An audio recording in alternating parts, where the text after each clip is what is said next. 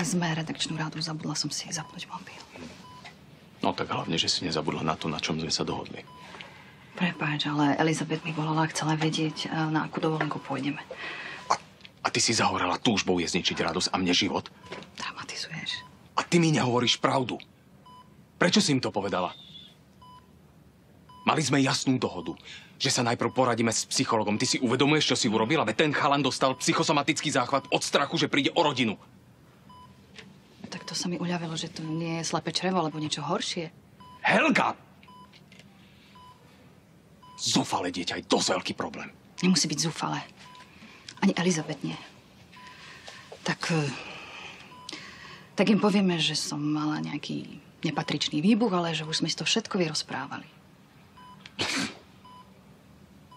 Nie. Nie, ja už sa nenechám zavrieť do tvojej klietky. Už nie. Ale ty v tej klietke stále si. A nikdy si z nej nevyletel, lebo si révaj. Papi, moci, ja nechcem, aby ste sa rozviedli. Samozrejme, že sa nebudeme rozvádzať. To sme s tatínkom len mali takú škriepku, alebo že je to všetko v poriadku. Sme revajovci. A tí držia spolu. Vždy. Naozaj sa nebudete rozvádzať?